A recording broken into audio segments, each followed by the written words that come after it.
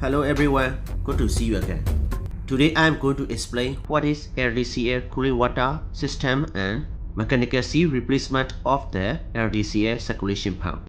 The LDCL cooling water system is an add-on to the jacket cooling water system. It is the part of the jacket cooling water system which controls the cooling water temperature in the cylinder liners, cylinder covers and exhaust valves.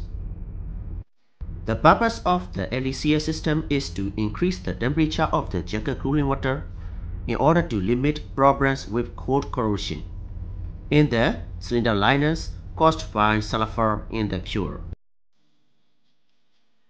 The increase in temperature is achieved by recirculating part of the cooling water. To ensure high flow through the cylinder liners, the cooling water circulation in the liners is driven by a circulation pump it is called LDCL circulation pump. This LDCL circulation pump is operative during the load spectrum. You can see the circulation temperature is around 120 degrees Celsius and it will reduce as the load increase around 50%. The LDCL circulation pump is controlled by the engine control system and operated on the MOP.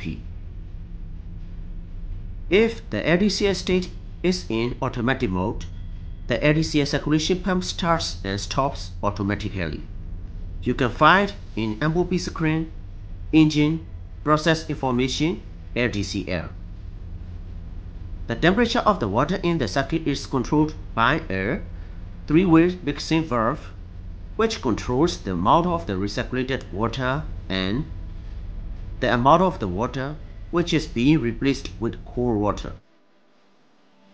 In this way, the control adjusts the temperature of the water until it reaches the set point. In case of failure in the system, the circulation pump will stop and three-way mixing valve will move to fail-safe position, which is fully open.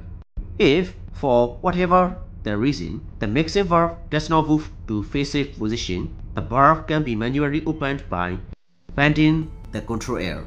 In this position, the full flow of cooling water from the jacket cooling water pump is sent through the liners and the cooling water temperature will be controlled by the jacket cooling water system. The cooling water control unit CWCU measures inlet and outlet temperatures, inlet and outlet pressures for the LDCL circulation pump and receives the actual engine load from the ECS. In case of a sensor failure or if the LDCL circulation pump starter cabinet is put in local control, an alarm will be raised and the system will go in failure mode.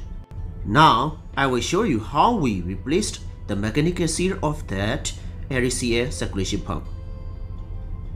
Before disassembling any part, make sure switching off the power supply and release the internal pressure.